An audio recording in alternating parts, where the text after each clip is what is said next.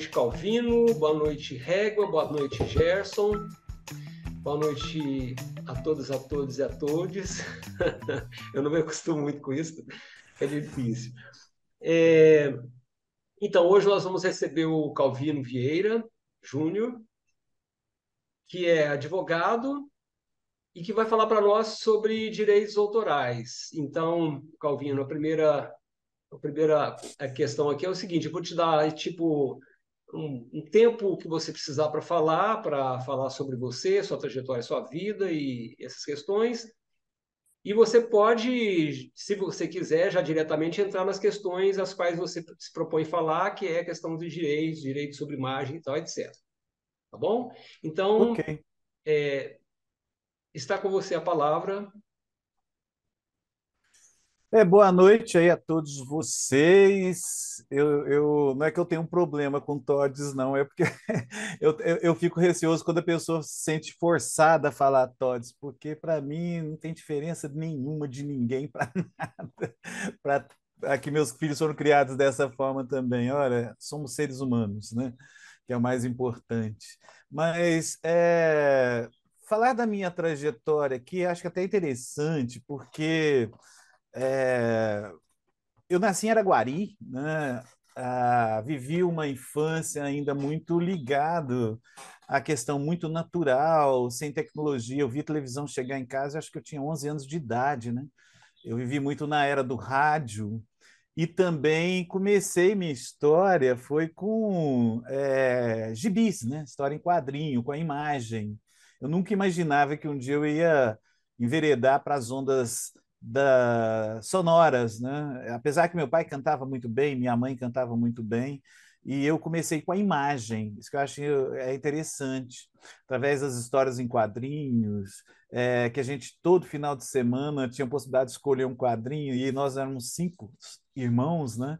E, e, era melhor ainda, porque meu pai tinha condição de cobrar um quadrinho para cada e a gente ficava trocando. E os quadrinhos foram um amparo para tudo né, que eu tenho hoje até principalmente com alguns é, quadrinistas antigos, né, que é atualmente chamado de arte sequencial, é, tais como Will Eisner, que é considerado um dos é, incentivadores dos planos, não da fotografia, mas do cinema, né? porque antes do, do Will Eisner, o Will Eisner tinha uma, uma visão fotográfica violenta, né? que influenciou né, de onde vem a geração do storyboard para o cinema.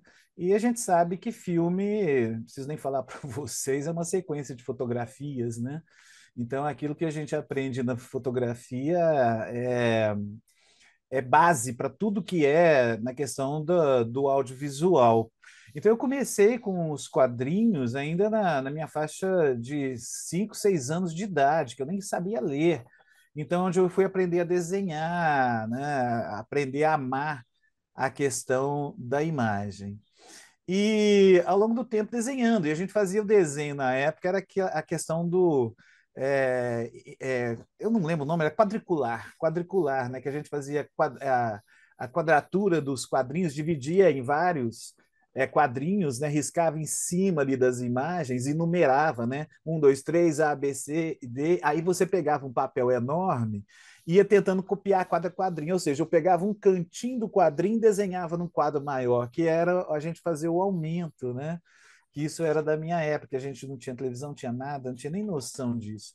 E eu lembrei de uma outra coisa, o meu pai, é, não cheguei a ver ele fazendo isso, mas ele com seus... Quando eu nasci, meu pai tinha 32 anos, mas ele na faixa dos 18 aos 25, ele era retocar, ele fazia retoque em fotografia preto e branco, ainda com lápis, né?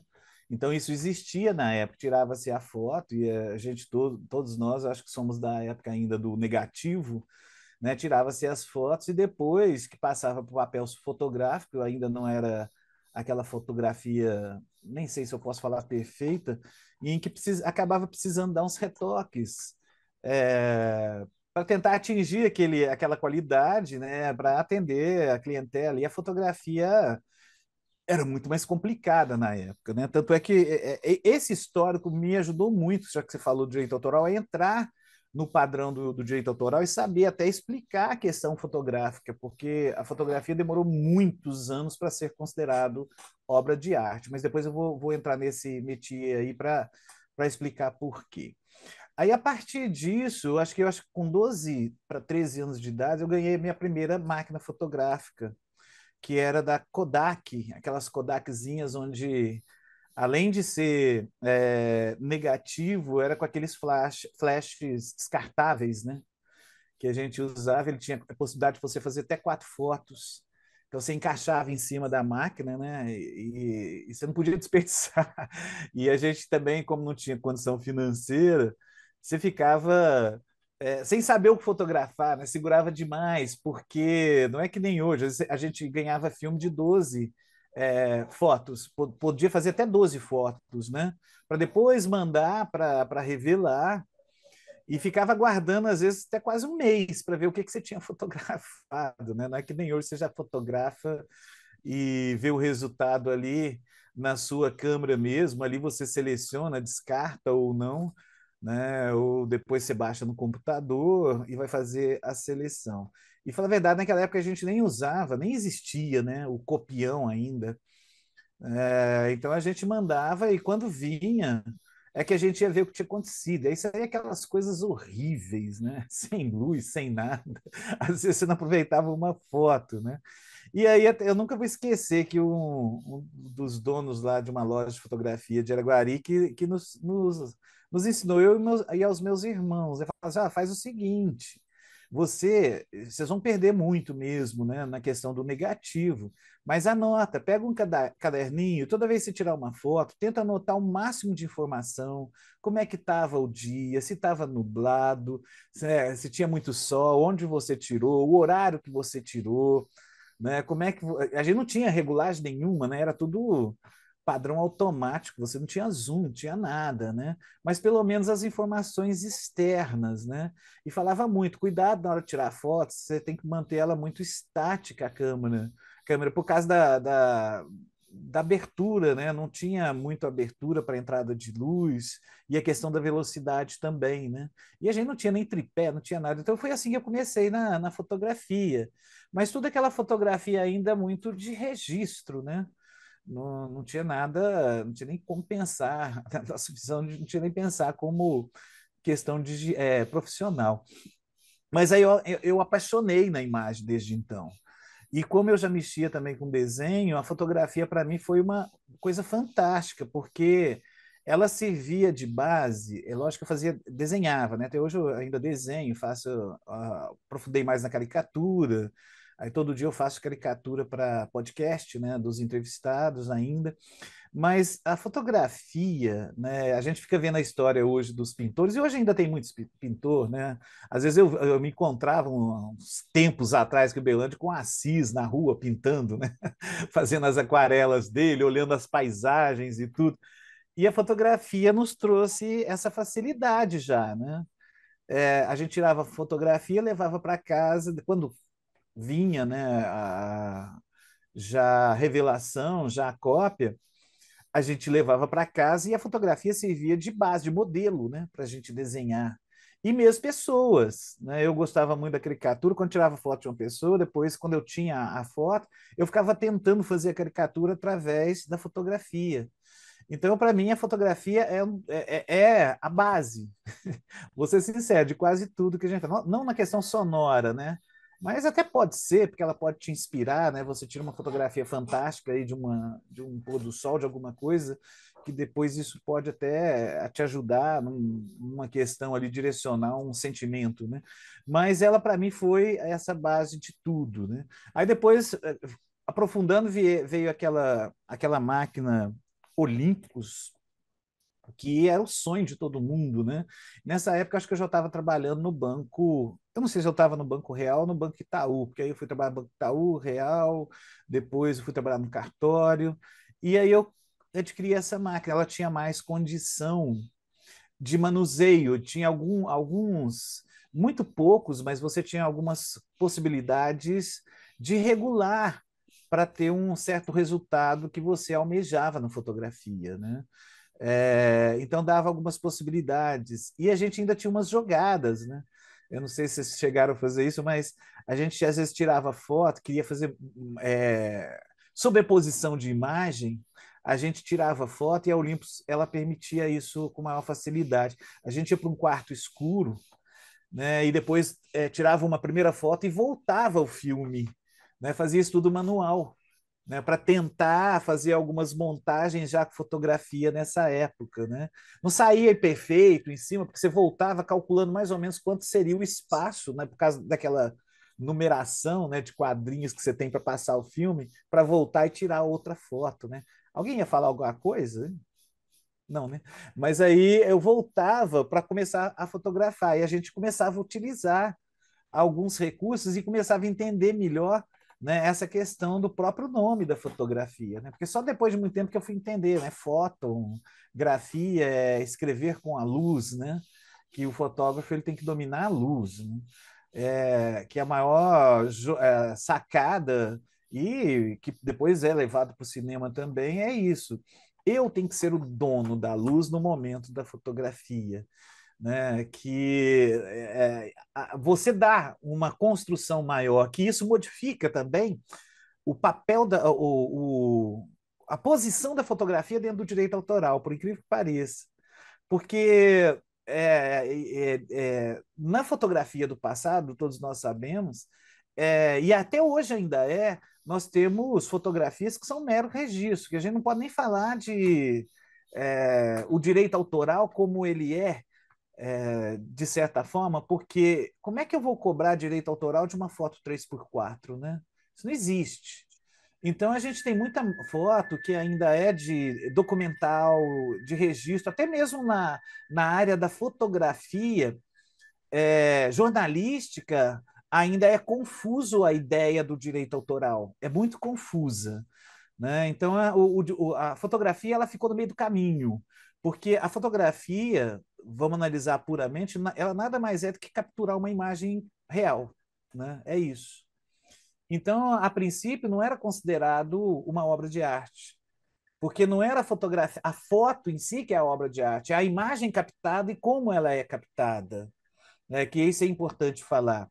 Então, durante muitos anos, ela não foi considerada nem a fotografia e nem uhum. mesmo a filmagem como verdadeiras obras de arte. Tanto é que o domínio, quando cai em domínio público, tanto a fotografia quanto a obra de arte, ela tem parâmetros diferentes. Né? Por exemplo, no Brasil, como regra geral, a obra de arte ela cai em domínio público 70 anos após a morte de, do autor, contado em 1 de janeiro posterior ao ano da sua morte. Então, se eu morrer hoje, é, a, as obras que eu criei, elas vão começar a contar para o prazo em 1 de janeiro. A partir dele começa a contar 70 anos. A fotografia e, o, e a obra audiovisual não é assim. Ela é da primeira publicação até hoje. Por exemplo, pode acontecer se eu tivesse uma foto aí com meus, sei lá, meus 16 anos, né, e eu tiver com 88 anos, a minha fotografia já caiu no domínio público, mesmo eu estando vivo, né? Porque ela não, ela, ela em si não é a obra de arte, ela não era considerada. E até hoje ainda se questiona muito. E isso é interessante porque quando entra é, essa área que eu estou trabalhando muito, que é a inteligência artificial, é, é um amparo para a gente mostrar que existe uma diferença entre imagem, fotografia, a questão do resultado e do belo. Né? Porque a fotografia começa a tomar um, um, uma, um papel de, de direito autoral mesmo, como obra de arte, né? E mesmo assim é uma obra de arte entre parênteses. Eu não estou falando que não seja bela, que não tem esforço. É para a gente entender realmente, porque é, a construção da obra de arte ela é você tirar do zero e de você sair a edificação da obra de arte e não é, olhar para algum lugar, por mais que você tenha visão, você pensa no ângulo, você pensa num plano, né? Você pensa numa iluminação, você está capturando algo que existe, não é você que está criando. Essa foi a primeira discussão que teve sobre a fotografia e a filmagem. Né? Então, eu não estou ali criando a imagem que está na foto, eu estou capturando. Até que depois, com o avançar, você tem, você vai fazer fotografia de estúdio, você trabalha o cenário, você começa a trabalhar a iluminação, você tem um maior controle de abertura, de campo de profundidade, de velocidade, né? Aí você vê que tem uma, um maior trabalho do fotógrafo em si. E aí ele passa a ter realmente uma noção de obra de arte, mesmo que seja com umas questões técnicas, mecânicas, mas tem um envolvimento do, do, do fotógrafo em modificar aquela imagem real. E depois vem na área que o Paulo aí não gosta muito, que é o posterior também, que é o trabalho do Photoshop, e aí vai, né? Mas foi isso que deu um dinamismo, querendo ou não, na visão do direito autoral. Senão, até hoje, nós não teríamos uma protetividade como é, obra de arte a fotografia, né? Ela, ela é, é o meio do caminho, ela ainda está no meio do caminho. Né? Ainda não é uma, uma verdadeira obra de arte, o que é até que nos confunde. Né? Então, a, a, quando vem a, a, eu começo a trabalhar a questão da Câmara Olímpicos e tudo, que eu comecei a entender melhor a fotografia. E aí depois, né, aí vieram outras filmadoras, mas aí depois eu debandei para o lado da música, fiquei muito tempo afastado na fotografia e fui fazer o curso de artes na UFO, né? Foi onde eu voltei com força, porque lá até fui aluno do Tomás, porque no curso de artes a gente tinha né, a matéria de fotografia, você tinha lá noções de cinema, era tudo dentro do curso de artes plásticas da UF.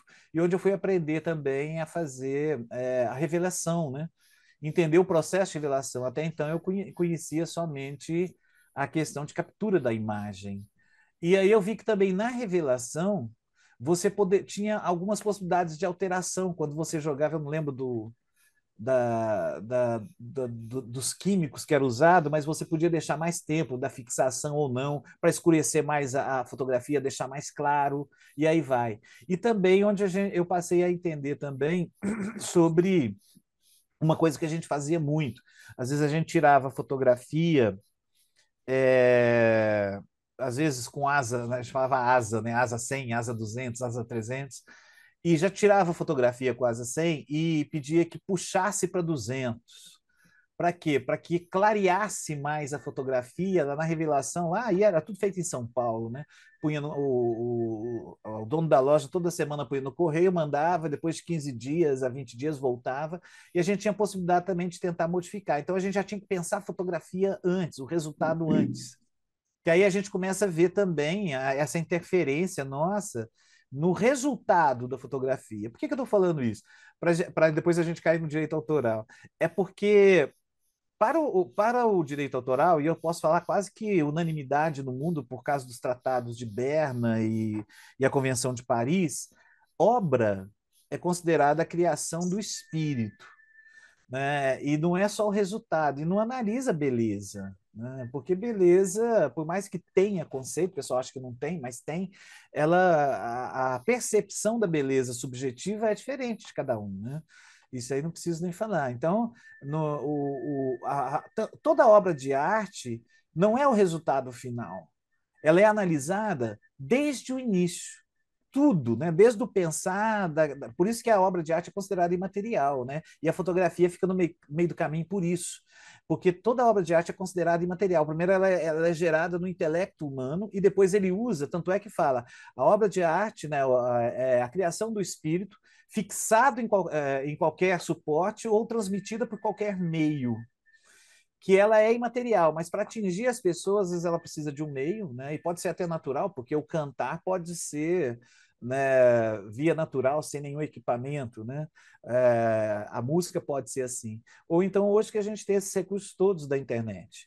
Então, e, e, eu, e eu lembro quando eu estudei no, na artes plásticas, a gente discutia muito sobre isso, que para a gente considerar uma obra, ela tem que atingir um público, qualquer que seja, né? independente do número. Enquanto você faz algo e guarda para você numa gaveta, por mais que tenha toda a característica de obra de arte, para o conceito, não estou falando se eu concordo, se eu discordo, é, só vai ser considerada a partir que tem acesso ao público. Aí seria considerado obra também. Então, a obra não envolve só o resultado final. Né? Porque uma, uma e, e, mais, a, o autor, para nosso direito, como é, regra geral, é considerada pessoa física criadora de obra artística, científica ou literária, né? Mas a gente vai focar mais na fotografia. Ou seja, para o direito só pode ser autor pessoa física.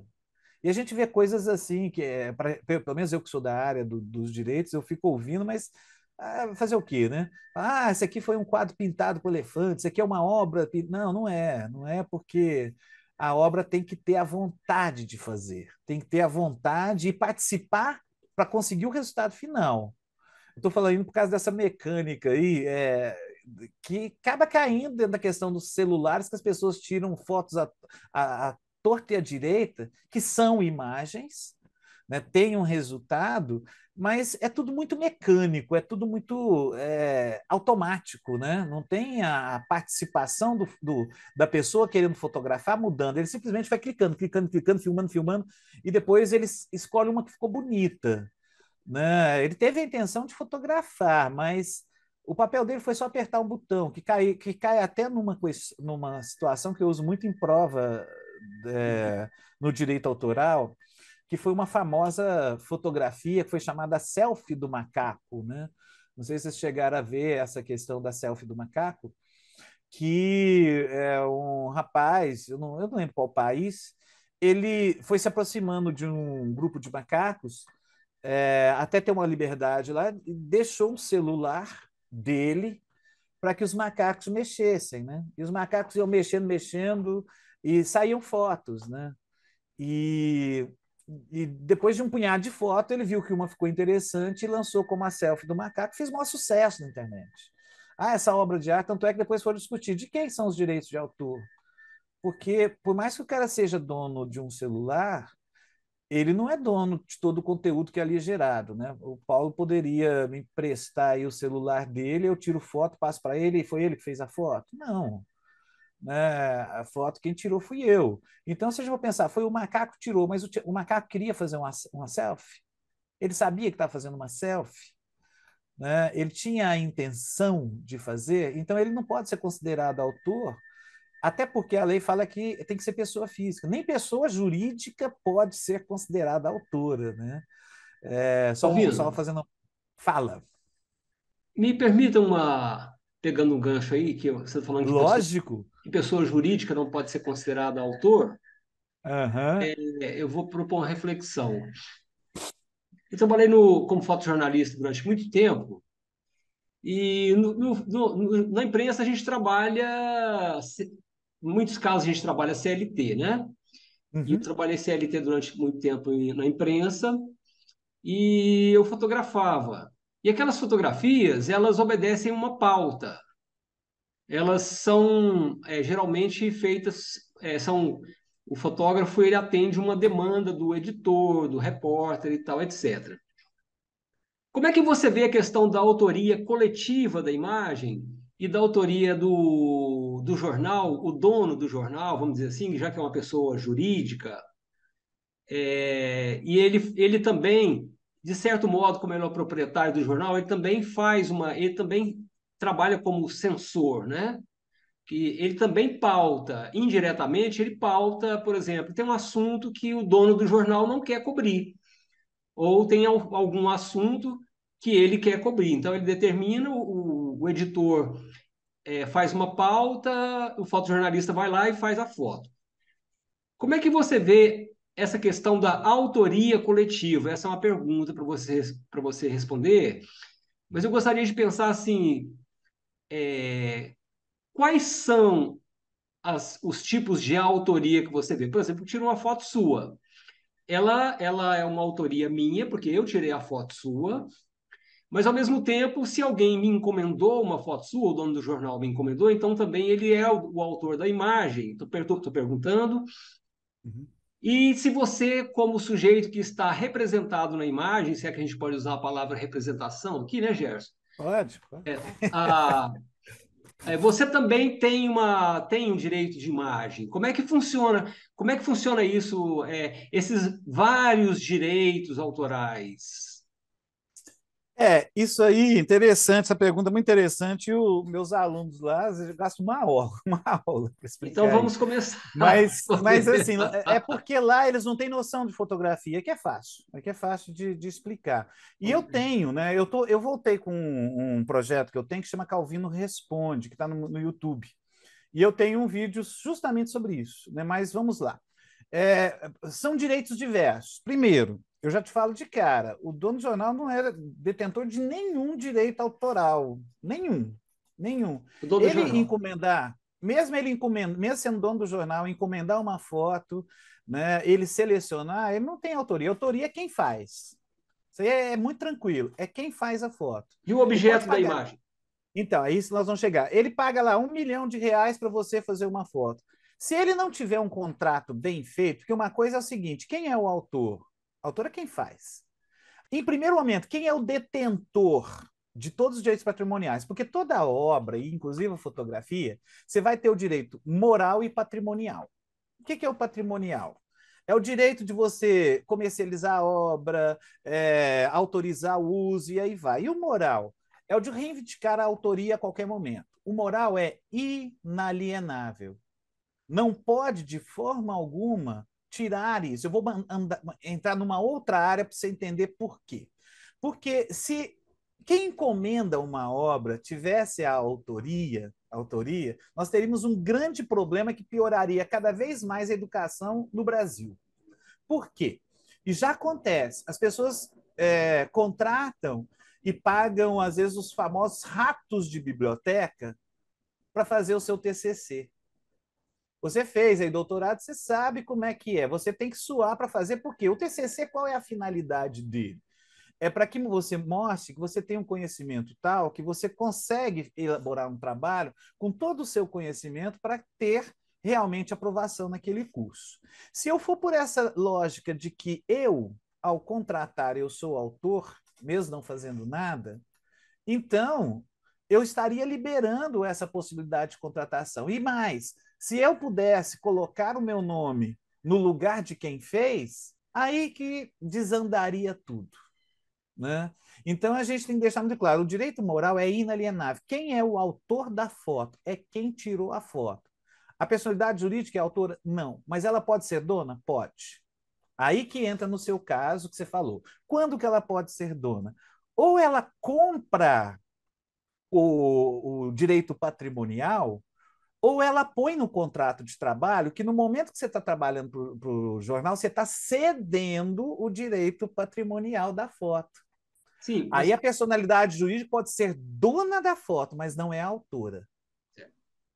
E aí eu vou cair na imagem da, da pessoa fotografada. Né? Então a gente tem que ter essa distinção. Por quê?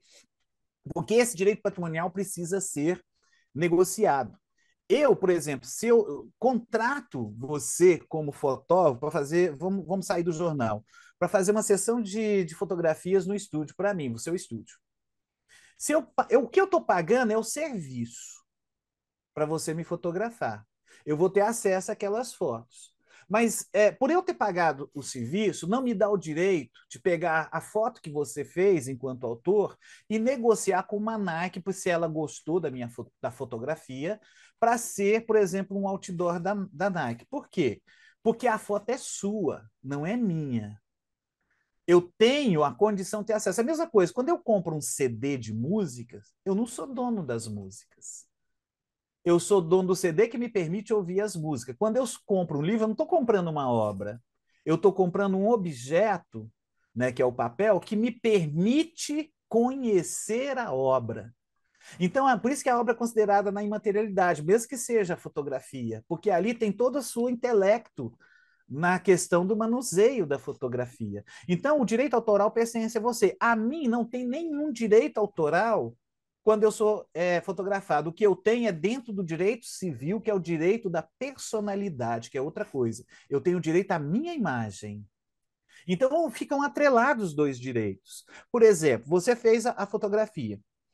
Eu, para ter liberdade de usar a fotografia, eu não tenho que só te pagar o serviço. Eu tenho que pagar, se eu quiser, o valor que você entende que seria vender o patrimônio total da sua obra imaterial, que é ter conseguido a, aquela qualidade de fotografia. Se eu faço um contrato nesse sentido, aí você não tem direito mais nenhum. Mas você tem um patrimonial, mas o moral sempre. O moral é um direito que você tem de reivindicar sempre a autoria da foto, mesmo se eu tivesse pago 10 milhões de reais por todos os direitos patrimoniais das suas fotos. Sempre que eu usar, eu tenho que citar seu nome. E se eu não citar, mesmo tendo pago 10 milhões de reais por uma foto, se eu não citar, você tem o direito até de entrar com ação indenizatória contra mim, porque eu não citei o seu nome. Então você tem o direito moral do fotógrafo sobre a foto, o direito patrimonial do, foto, do fotógrafo sobre a foto, que ele, esse ele pode negociar, que não é a prestação de serviço. Prestação de serviço é outra coisa, por isso o contrato tem que ser muito bem feito. E ainda pode ter o, o direito de imagem de uma pessoa, e ainda falo mais, de uma obra. Você pode, às vezes, tirar a foto de uma obra de uma pessoa, e essa foto fica tão bem feita, principalmente no que a gente faz nas esculturas, e começar a comercializar. Não, mas se aquela obra da escultura não está em domínio público, você, fotógrafo, tem também que pagar os direitos autorais sobre aquele objeto fotografado, que é uma obra que tem também direitos autorais. Por isso que a fotografia é mais complicada, porque ela é captura de imagens, imagens que pertencem a outros ou que estão livres, né? Se tirar uma foto do pôr do sol, tem que discutir, aí você vai ter o domínio total. Então, isso é uma relação profissional de prestação de serviço. O jornal jamais vai ser considerado autor, coautor, ou a fotografia desta forma será coletiva. Não. O que o jornal pode ter é ser dono do, da, da foto, porque ele previu no contrato que toda foto que você tirar, você vai estar passando para ele os direitos patrimoniais. Então, tem que estar no contrato. Se não tiver, ele tem que te pagar os direitos autorais cada vez que ele usar a foto. Ainda tem um, alguma duvidazinha aí? Ou ficou confuso? Então, mas eu posso defender, só, só para complementar, Gerson, se me permite, é, eu, mas eu posso defender a ideia hum. de que, ao ir a campo fotografar com uma pauta na mão, aquela fotografia ela tem uma autoria coletiva. Não. Mesmo, olha só, mesmo que em detrimento de eu, é, por exemplo, é, digamos o seguinte, eu não estou reivindicando o direito patrimonial. É, eu estou pensando aqui no direito, do, por exemplo, de reproduzir uma imagem que é minha, usar uma imagem que é minha, que foi publicada no jornal, e de me apropriar dessa imagem e reproduzir o jornal. Que aí tem a imagem do jornal também, entendeu? Não, o que ela tem, é, é, eu volto a falar, é o patrimônio. Por exemplo, eu não sei se você lembra, antes do, do Michael Jackson morrer, ele comprou todos os direitos patrimoniais das obras dos Beatles. Ele adquiriu o direito patrimonial. Ou seja, é mais ou menos falar, é, a partir daquele momento, todas as músicas dos Beatles, não as gravações, as músicas, que é outra coisa que a gente é, é, é necessário discutir para entender. Todas as músicas que foram produzidas, é, compostas pelos Beatles, passou a ser do Michael Jackson. Ou seja, se o Paul McCartney, que ainda está vivo, resolveu hoje gravar uma música que ele compôs e que foi vendido para o Michael Jackson, ele tem que pedir autorização para a família do Michael Jackson. Porque o Michael Jackson morreu, aí é, a gente vai ter, cair na questão do domínio público. Só que até hoje as músicas não começaram a, a, domínio público. Olha o tanto que a gente baseia no direito moral. O Michael Jackson passou a ser dono das músicas. Ele morreu. Esses direitos passaram para a família. Só que ainda não começou a contar é, domínio público. Por quê? Porque o domínio público é a partir da morte do último autor se tem coautoria. Olha o tanto que a gente vai somando, né?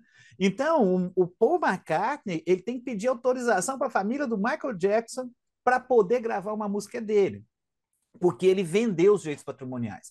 Se foi isso que eu entendi no seu caso, para você reutilizar uma foto que você fez de um jornal, você tem que saber como foi feito o contrato. Porque se no contrato não tem a previsão de que você está cedendo, tiver uma cláusula que você está cedendo o direito patrimonial, aquelas fotos são suas que você fez, mesmo sendo encomendado com uma pauta, a pauta não quer dizer que o cara é autor. Por exemplo, se eu encomendo para alguém, faça uma música para mim falando sobre crianças de rua, gostaria que fizesse, eu não sou autor por ter feito a pauta. de forma alguma. Porque isso seria um, um argumento simples para o cara ter uma, uma ideia porque até a nossa lei fala claramente. Isso aí seria até assim, é uma solicitação de uma ideia, de uma matéria, ele tem uma pauta. E a, a, o artigo 9 da nossa lei fala claramente: é objetos que não são protegidos. O primeiro, ideia nenhuma tem proteção. Se ideia tivesse proteção e pauta, nós estávamos ferrados. Porque senão, o primeiro cara que teve ideia de fazer filme sobre ET, todos os outros filmes que a gente tem sobre o espaço teria que pedir autorização para ele pela ideia. Não, a gente não protege ideia. A gente protege a partir da concretização da obra. E é quem fez.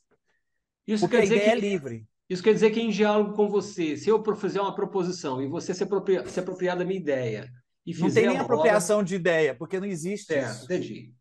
entendi. Não existe. O, o, Caetano tinha uma música que eu usava em sala de aula, assim, olha, Caetano falava o seguinte, se você tem uma ideia incrível, faça logo uma canção está é, provado que só é possível filosofar em alemão. Não sei se era a intenção dele, mas daí eu tiro aquilo, olha, se você tem ideia, não conta para ninguém, não, faz. E mesmo depois que você fizer, a pessoa vendo a ideia daquilo que você fez, ela pode fazer, desde que não seja igual. Sim, ela pode se apropriar da ideia. Pode. Não é apropriação porque não existe propriedade da ideia. Ah, eu tô, eu, o que você está falando está correto. Não, é, não vai apropriar, é porque não existe nem a possibilidade de falar em apropriação. Porque como ela não tem, porque senão a gente travaria o conhecimento. Porque é aquilo que a gente costuma falar, a gente não cria nada do nada, não existe. Como é que eu ia, por exemplo, compor uma música sobre flauta, se eu nunca tivesse ouvido uma flauta, visto a flauta, nem soubesse da existência? E mesmo assim, eu sou influenciado nas, vamos falar das músicas, das minhas composições, muito por quem? Porque eu sempre ouvi Chico Buarque, Milton Nascimento, né, o Clube da Esquina como um todo, Caetano. Isso acaba entrando em mim. Então eu acabo dando uma, uma pincelada a mais. Por isso que as obras caem em domínio público. Porque elas não são 100% sua. Por origem social, ela não é 100% sua. A gente tem várias influências. Você mesmo, a gente estava conversando, você falou, porque a gente tem todo o procedimento, a gente, aquilo que você falou, né? Hoje o, o artista, hoje é, contemporâneo, ele já pensa em criar, em criar que a, a obra não é dele, né? Tem, ele tem o direito por quê? Porque ele tem o suor dele, ele tem o trabalho dele, ele tem a pincelada dele. Então, a partir daí, ele vai tendo essa possibilidade de garantir para ele os direitos como autor, por mais que ele só vai conseguir produzir se ele tiver informações. E quanto mais informação você tiver, mais possibilidade você tem de ter criações. E essas informações vêm de uma coletividade. Tanto é que a gente fala, a música mesmo, o homem não criou. Eu falo para os meus alunos, não cria nada. A gente é um eterno copiador, né? E com o tempo a gente vai aproveitando aquelas primeiras cópias e vai retransformando a própria música. A primeira tentativa que existiu, que é reconhecido ao longo da história, é o homem tentar imitar os pássaros né, considerado o primeiro instrumento real feito pelo ser humano é a flauta. Mas os pássaros não cantam. Aquilo é uma, é uma comunicação, mas para a gente parece uma coisa é, etérea, não sei. E aí a gente começa a dominar as notas. Então a gente não cria. A gente, a, entre uma música e outra, qual é a diferença? É a distância entre uma nota e, nota, e outra é a posição. A gente trabalha com sete notas, né, com oitavas e oitavas. Lógico que você tem é, as comas, for para o lado oriental, mas de qualquer forma, a única coisa que você faz para quando você faz uma música nova é organizar de forma diferente. É doido demais. É. Aí vai ficar Gerson, viajar. Gerson Regman. Nossa, é, então, é, não era a minha primeira pergunta, mas eu estou aproveitando toda a discussão que você provocou aqui a partir da pergunta do Paulo, que eu achei muito interessante. E eu queria só acrescentar um outro item. É, ficou claro para mim é, embora essa complexidade do direito é, moral e do direito patrimonial. Mas o que aconteceu, e aí eu lembro que teve uma, uma discussão, nós vemos, por exemplo, eu estava dentro de uma pessoa jurídica que você contrata um fotógrafo para fazer um, uma cobertura de um evento. E aí ele vem lá, fotografa, é, só que antes dele entregar a foto para a pessoa jurídica, ele publica uma foto que ele considera, na, na, na página dele, faz a publicação daquilo que ele considerou e depois ele entrega um conjunto de imagens para cá. Agora entenda assim da discussão entre direito moral e direito patrimonial. Mas dentro desse ponto, é, o, a discussão sobre ética, é, de que forma ela pesa entre essas relações de, do, do moral e patrimonial em determinadas situações, por exemplo, não sei como, como é esse, de que forma é, é o conceito de ética ele vem dentro desse debate. O, É o só, Gerson, só um minutinho. Deixa eu ah, eu complementar que a minha pergunta também vai nessa direção do Gerson, que é essa dimensão ética, né? Porque a gente viu aqui, principalmente assim, os fotógrafos, é, por exemplo, de rua, né? Que fotografam pessoas, e como é que é essa relação dele com as pessoas, de pedir autorização? A gente, a gente vê muitas, é, exposições que estão ali retratando pessoas, né? Eu lembro que eu vi recentemente uma entrevista do. Ai, meu Deus, do. Aquele que fez o amarelo, gente, esqueci o nome dele. Ele amarelo. é, que fez o, a música lá, Amarelo, com a.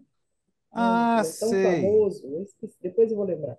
E aí ele falando que ele foi para para a África e chegou lá, assim, levou um tufo de, de, de contratos para as pessoas assinarem, que ele já ia fazer, usar a imagem das pessoas e ia pegar assinaturas, né? E aí disseram para ele assim, é, não, você está convivendo muito com os brancos, não precisa nada disso, né? Então tem essa, essa perspectiva, né? É, Tem. Hum, é, ética, moral, né? Assim, desse cuidado que às vezes você tem que ter com, com o que você faz, né? E, e os usos disso, né? Então eu queria que você falasse também um, um pouco disso aí para gente. Tá. O Gerson, por acaso, como eu é, fugi um pouco do que você queria, mas acho que vai ficar na mesma. É, primeiro, eu queria só assim saber, quando vocês estão falando aí de ética, vocês estão falando como norma disciplinadora, é, resultado da ciência ética, ou quase como sinônimo de moral? Eu Como, fiquei. Porque, assim, a gente tem uma diferença, né, na questão do que é uhum, moral e do que é ético, né? E às vezes você pode ter até atitudes éticas que para você são imorais, né? E vice-versa. É, é, você está falando mesmo é de. Porque eu, que eu saiba, não existe nenhum, nenhum é, código de ética fotográfico. Eu não sei se é isso que vocês estão falando, é? Se uhum, for, é, é para a questão legal mesmo. Agora, a questão moral, para mim, é que mais pesa. E eu não estou uhum, falando da moral do direito autoral, que é essa questão que eu acho que vocês estão questionando. Primeiro é o seguinte: é, vou falar da questão que foi para a África, tem um erro jurídico aí muito grande. Né? Eu sei que o Sebastião Salgado faz isso. O Sebastião Salgado carrega é, é, cadernos já com é, vários contratos pré-formatados em várias línguas. Mas a primeira coisa que a gente tem que saber é que, é, e acho que vocês sabem, é lógico, né, que legislação, cada país tem o seu, a sua.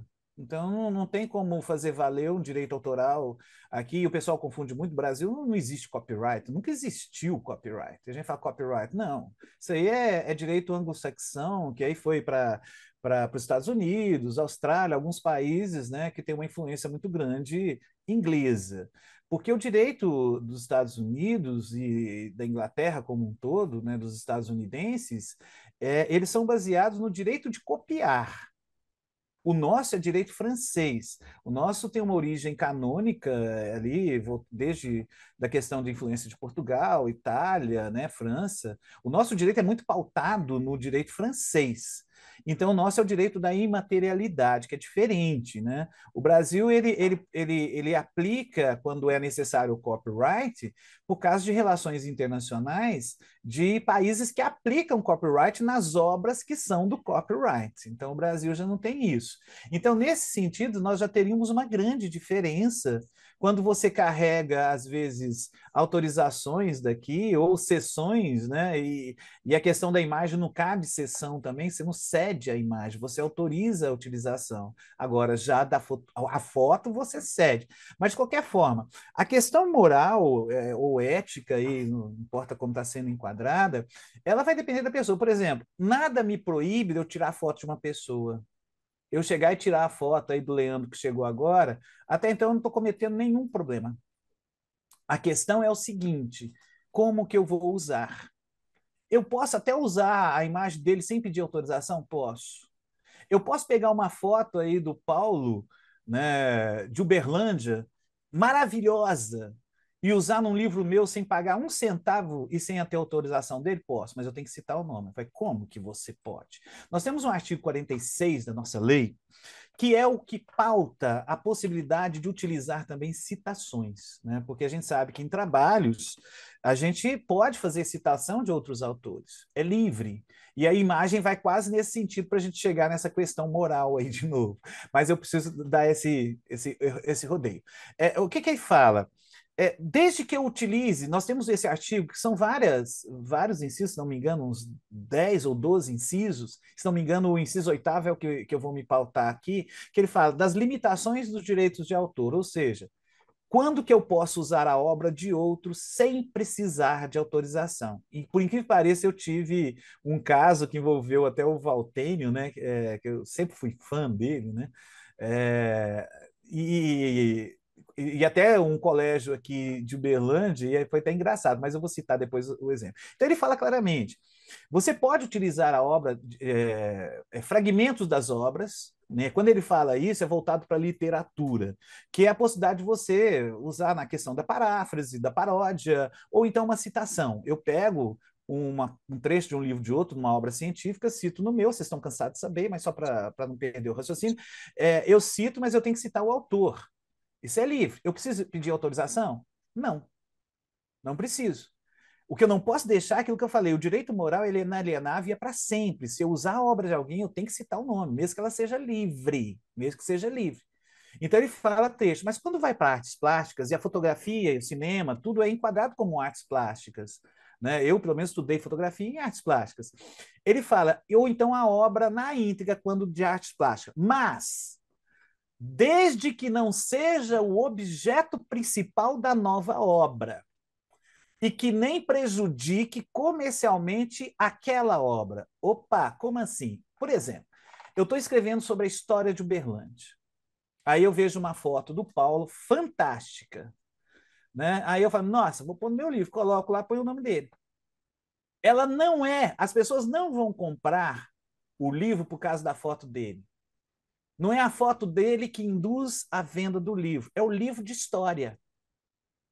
Que é aquilo que eu falei, como é conhecimento e tudo, e amplia a ideia do conhecimento, nesse ponto é livre. Porque eu não estou prejudicando a venda da foto dele, e nem o objeto principal. Agora, e se a foto dele fosse na capa? Já seria diferente. Porque ela chama uma atenção para a capa do livro. E se o livro fosse de coletânea de fotos? Aí eu teria que pedir autorização de todos, porque eles passam a ser o objeto principal da obra. Então a gente tem essas possibilidades. Então existe, depende da questão. É, eu até estava falando da questão do Valteno. O Valteno é a mesma coisa, foi charge, artes plásticas. Que, foi maior coincidência. Teve um colégio que me chamou aí, que é famoso em Berlândia, para orientar sobre as apostilas, né? E eles estavam com medo, porque ia fazer livros de, de iam começar a produzir o material é, de física, queriam pegar a imagem em tal lugar, tal lugar. Eu falei, não, é tudo livre, até charge, fotografia e tudo livre. Vocês não podem deixar de citar a fonte. Porque nós não podemos bloquear o conhecimento em proteção demais ao direito autoral, a não ser que esteja prejudicando o direito autoral do autor, que é aquilo que eu falei que está dentro do artigo então eu posso usar livremente. Aí eu tinha orientado, eles fizeram, puseram o charge do Valtênio. Dois meses depois ele me ligou ao Valtênio querendo processar o colégio, que eu tinha orientado que poderia usar, e eles usaram a obra dele, né? Eu falei, olha, Valtênio, infelizmente é assim. Mostrei, falei, mas onde está isso aí? Mandei para ele, ele falou, puta merda, né? E com razão, é o jeitão dele, né? É, era o jeitão dele. E, e com razão, mas a, ao mesmo tempo a gente fica travado, né? Porque é aquilo que eu falei, a gente não faz nada. Você vê o desenho voltando, você sabe que é ele. Esse dia mesmo eu estava mexendo aqui no, nos documentos para a lei de incentivo aí do audiovisual e achei o, o, livrinho dele que eu comprei e lembrei desse caso. Até falei, contém sala de aula, né? Então a gente tem isso. Então quando a gente fala da questão moral, a questão moral também ela vai cair. Não sei se é isso que vocês estão querendo saber. A forma de utilização, aí sim, porque não é antiético dependendo da situação. Se eu uso de forma indevida, nem falo de ética e moral, já falo de problema jurídico. Já vai direto no jurídico. É lógico que aí vai carregar tudo, né? a questão da moral e da ética, mas é, é, um problema jurídico porque você não pode. Então, eu não posso sair usando livremente as obras quando eu tenho intuito de lucro direto e indireto. Ainda falo mais, não é só o direto, é o indireto. O que é o lucro indireto? É toda vez que você usa a obra de uma outra pessoa, mesmo sem pagar nada, mas que ela, diretamente, ela vai me é, projetar. Um exemplo. Se eu fizer um show com músicas do Caetano Veloso no Teatro é, Municipal de Berlândia e cobra ingresso, eu tenho lucro direto. Eu estou recebendo que as pessoas tenham lá assistir. Ah, mas é você, mas eu estou usando a música dele. Hoje eu vou fazer o show do, só de música Caetano. Vai, vai, vai gente que nem conhe, me conhece porque é fã de Caetano. E está pagando. É um lucro direto, aí eu tenho que pagar direitos autorais. Mas se eu faço na Praça Tubal Vilela, música, é, Calvino canta música do Caetano Veloso é, e não tem cobrança de ingresso. Eu tenho que pagar direitos autorais? Tenho. Ué, por quê? Porque eu estou usando a música também para me projetar. Porque muita gente vai vai ficar me conhecendo porque eu usei a música do Caetano Veloso. Que aí a gente cai na visão da questão moral, né? quase resvala no patrimonial. Mas como voltando, quando eu uso dentro de um livro, as pessoas nem sabem as fotografias que estão dentro do livro, se o livro não é de coletânea de fotografia. As obras que estão ali estão ilustrando. Então a gente tem um artigo na lei que vai dizer sobre essa possibilidade de utilização. Por isso que eu falo, o direito, o direito autoral é muito mais complexo do que o pessoal pensa, né? Porque a gente tem que analisar várias situações. É, eu acho que eu respondi, não sei, faltou alguma coisa, Gerson ou Regno? Porque o Gerson perguntou primeiro, eu, fiquei me, eu acho que eu fiquei me pedido, é, eu foquei. Desculpa. É o Emicida, agora eu lembrei o nome do, Emicida? Ah, é, tá. O amarelo, é gravar, é verdade. É, gravar a música. Mas eu consegui atingir. Né?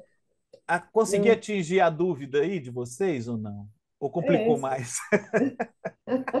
é, o, o Calvino, só, é porque no, no caso, é, é, foi, é, é como se fosse assim: você contrata um fotógrafo para um casamento e ele divulga ah, é. as suas fotos antes, antes de, de você ver as, as fotos do seu casamento. Quer dizer, é, qual que é o, o, Esse aí é complicado, sabe por quê? Não é só a foto em si. Eu esqueci, eu sabia que tinha alguma coisa.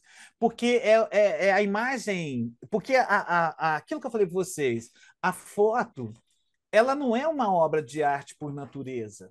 Não é, ela é registro. Ela é captura. Se eu tiro foto 3x4, eu não vou falar direito autoral, por mais que eu sei quem foi o fotógrafo que tirou, às vezes nem sei, né? Tire lá, nem lembro quem foi, né? E eu estou usando. Você faz, é, eu falo muito, a fotografia também é considerado registro. Eu também dou aula do, do direito notarial e registral. A fotografia é um registro, tanto é que hoje a gente está usando muito isso, né? A imagem é um registro. É, de certa forma, quando ele faz o registro, é um pouco mais fechado, mais fechado. Ele, para utilizar Aí inverte, realmente é, a sua pergunta estava um pouco mais estava é, diferente. Ele inverte, realmente pela questão moral ele passou por cima, não tem nem discutir, né? Ele não poderia ter publicado. A questão ética, se, se for para a questão de norma disciplinadora, vocês me desculpem, eu fico assim meio é, perdido para falar, porque eu não conheço um código de, de ética fotográfico. Né? Porque gente, eu, eu, falo muito meus alunos quando eu ensino isso, porque a moral é uma reflexão, né? Vocês me corrijam se vocês tiverem posição diferente. Porque o, o valor, o valor é aquilo que eu carrego enquanto informação e construção da minha personalidade. Né? As coisas têm valor para mim de acordo com o que, que me, me, me, me, são necessidades, pelo que me atrai. Se eu acho que um ato de uma pessoa é valoroso, eu vou aceitar aquilo naturalmente. E quando eu acho que o ato da outra pessoa é, choca com o meu valor, eu vou falar que é imoral. Eu vejo a moral mais como uma reflexão de choque de valores, né? choque de possibilidades nas relações sociais.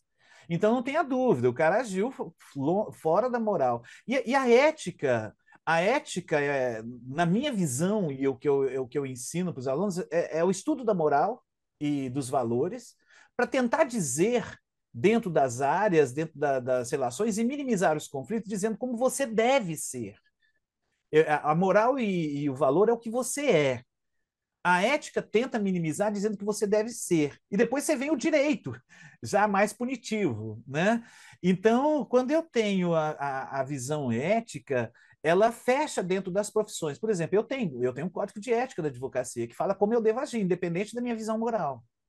Se eu aceitei, é um caso que eu reflito muito, que eu acho interessante, que é, eu, eu jogo para meus alunos o seguinte, imagina um médico plantonista que é testemunha de Jeová, fez um juramento salvar a vida, né, é, pelo código de ética da medicina, mas chega ali um acidentado que precisa fazer transfusão de sangue, só está ele lá.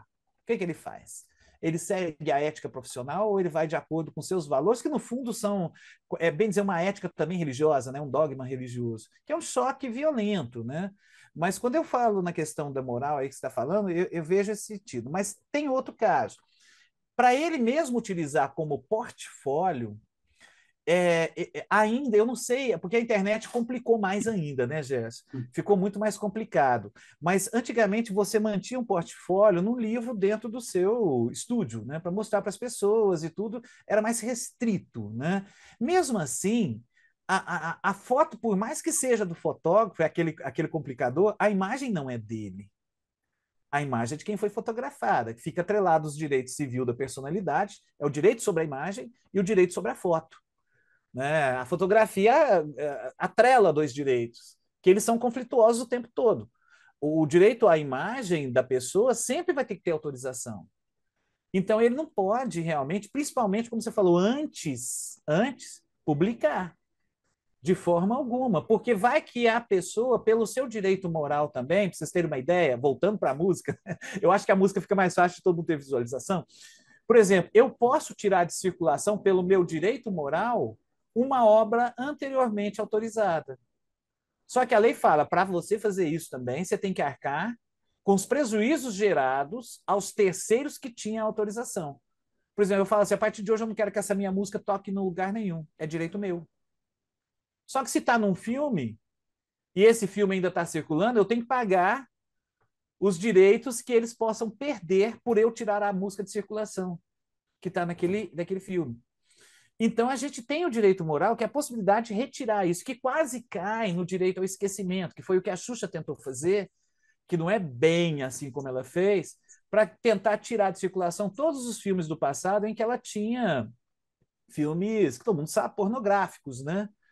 E então ela pode até tentar isso, mas ela vai ter que arcar financeiramente com isso para tirar, que é o quase chamado direito de esquecimento. O direito de esquecimento está mais voltado para uma questão de crimes, né?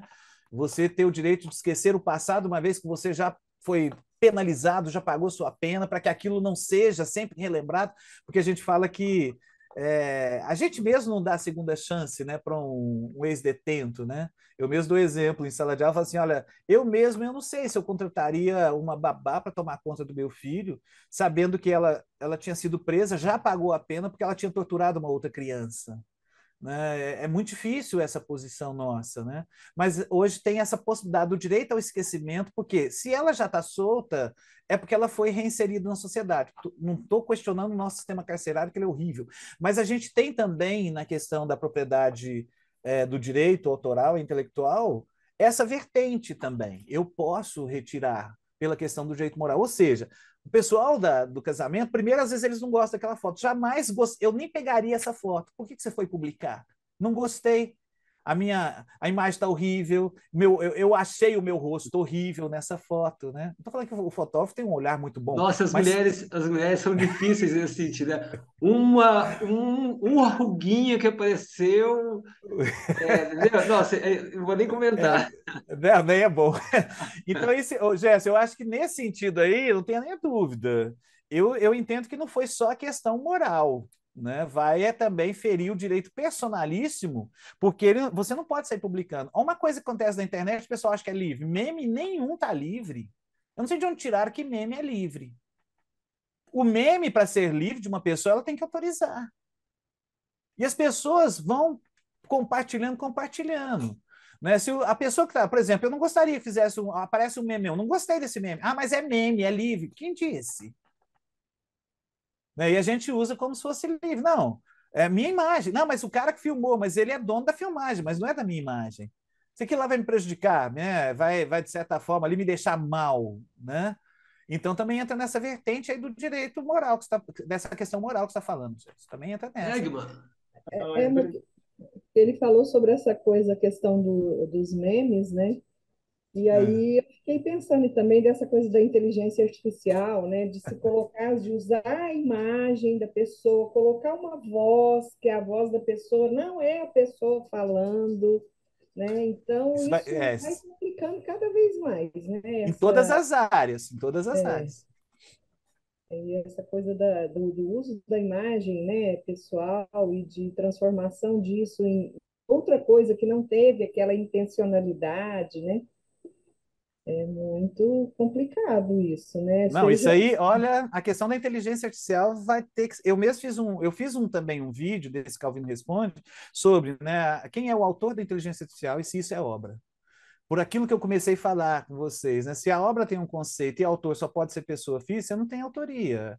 A inteligência artificial, por mais bela que seja a imagem, aquilo não é considerado obra de arte. A obra de arte não é só a beleza. É todo o processo. E outro, não tem autor. Ah, foi um software de inteligência artificial. Eu uso muito da Adobe, eu tenho, eu tenho construído muita imagem com inteligência artificial até para entender mais, né? Porque eu, eu, dou aula da engenharia da computação, dou aula do direito digital também. E as perguntas são sobre nesse sentido. Pior ainda mais com o chat GPT e a construção, às vezes, de código-fonte. A gente fala de código-fonte hoje, só lembra dos 8 de, de janeiro, né? Dos patriotas querendo código-fonte. Mas, assim, a construção do código-fonte, você, solicita o chat GPT, ele constrói, os caras começam a construir, usar, remendando para fazer um software. Então, isso está muito confuso. Por exemplo, a Microsoft, como eu falei para vocês, ela é dona, por exemplo, do, do software do Word mas ela não é autora. Você pode ver quando vocês abrem o Word, aparece um punhado de nome de pessoas, são os autores, porque ela é obrigada a citar. Né? Então, é isso. quando você vai para essa questão da inteligência artificial, piora, principalmente quando cai na deepface, né? na construção é, de voz. Esse dia eu vi um, uma plataforma que você tem a capacidade de usar a voz já do Barack Obama, do Trump e de outros, de alguns do, Morgan Freeman, né? Eu sou fã dele, do Morgan Freeman. Então você faz textos, joga lá e sai na voz deles, né? Aí vai para um problema muito mais sério, já cai no penal, já cai no direito da personalidade, que é o direito à, à imagem, à voz, né? E uma outra coisa importante, por exemplo, é muito diferente o personagem, a imagem da pessoa. Até o, o se você está tirando fotos de um personagem, por mais que tenha personagem da pessoa, você tem mais um direito atrelado. Eu nunca vou esquecer, foi uma empresa de Araguari foi fazer uma, uma campanha publicitária com o Lima Duarte, eles contrataram o Lima Duarte, o Lima Duarte veio, né? E eu conheço o pessoal, porque eu sou de Araguari, eles me ligaram, um deles falou assim, Calvin, estou com um problema que você, que você pudesse resolver. Nós contratamos o Lima Duarte aqui fazer uma propaganda, agora ele não quer fazer é, o senhorzinho Malta. Eu falei assim, mas vocês contrataram o Lima Duarte e, e, e negociaram o senhorzinho Malta? Não, nós queremos que ele faça o senhorzinho Malta, mas o senhorzinho Malta não é dele. Ele não pode fazer. Você contratou o Lima Duarte. Para ter o senhorzinho Malta, você tem que negociar com quem é autor. Com certeza é da Globo. Aí você vai ter que negociar o personagem também, porque o personagem tem um direito de autor e direito moral, né? Então a gente cai nisso também. Então, quando ela falando do meme, ele vai cair nessa ideia. E quando vem a inteligência artificial, pior ainda. Porque, como eu falei para vocês, o autor é pessoa física. Então, você não vai ter autor na inteligência artificial. Se a pessoa disser que foi realmente pela inteligência artificial, ela está falando, essa obra é livre. Quem vai ser o dono? Eu também ainda não. A, a lei tem que definir. Né? Porque não tem uma definição ainda. Porque eu vou dizer, foi o cara que criou o software? Ah, pertence à inteligência artificial? Se perde, pertence à inteligência artificial, isso aí seria uma obra livre, quase como domínio público? Né? Ou, ou seria porque eu encomendei? Tá vendo, Paulo? Cai de novo naquela. Eu encomendei a inteligência artificial? Então eu passei a pauta para a inteligência artificial, eu vou ser autor? E a nossa lei fala o seguinte: quem simplesmente assessora o artista para chegar no resultado final, ele não é coautor. Um exemplo: se eu pego uhum. lá um desenhista. É, se eu pedir um desenhista, por acaso eu não sei desenhar, eu falo, quero fazer um personagem, eu descrevo o personagem minuciosamente, chego do lado do desenhista e falo assim: olha, eu queria fazer esse personagem. Aí ele começa a desenhar: não, não, apaga. Eu vou, vou falando para ele como ele deve fazer Se ele segue tudo o que eu falei, ele simplesmente me assessorou. Ele não tem nenhum direito autoral. Agora, se eu simplesmente falo, faça um personagem assim, assim, assado e vou embora, aí ele me apresenta o resultado final, gostei, é isso mesmo. Aí ele é coautor. Tá vendo o tanto de detalhe que a gente tem dentro da questão do direito autoral? Então, isso tudo. Jéssica, ia perguntar. É, eu queria aproveitar para perguntar, Calvin, uma das discussões que a gente tem muito forte na questão do jornalismo, que é o uhum. direito da imagem da pessoa e o direito ao, ao uso da imagem como, quando você justifica que é o uso da informação. Por exemplo, teve uma, um acidente, é, fui lá fazer a cobertura fotográfica e a pessoa diz assim, eu não autorizo você a, a me fotografar, mas ela está envolvida dentro de um de um determinado acidente que é, entre aspas, vou considerar aqui que é de interesse social, do ponto da, da informação, e eu vou lá e fotografo sobre ele. Não sei como você trabalha essa, essas discussões, mas normalmente o direito à informação ele se sobrepõe ao, claro, desde que não tem uma imagem da pessoa em situação depreciativa, né? Mas o direito à informação ele sempre prevalece sobre o direito da imagem? Olha, isso aí também está uma grande discussão por conta. E sabe o que complicou isso, Jé? A fake news. Né? A tentativa de construção, é, mesmo que não seja 100% fake news, mas for, for já. Antigamente eles falavam que era questão de direito moral para é, memória, principalmente quando você fotografava uma pessoa que estava morta ali no chão. Realmente sempre foi utilizado é, desde que a, informação não seja sensacionalista e ela seja como para alertar e mostrar uma realidade. Aconteceu o acidente, isso aconteceu.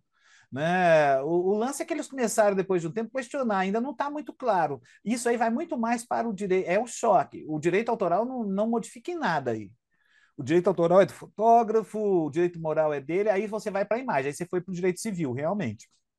Então, dentro do direito civil, tem essa questão que vai chocar entre a preservação da imagem de quem está sendo fotografado, e, e, depende da situação. Eu dar um, exemplo, um outro exemplo agora mesmo, só para você entender em sequência.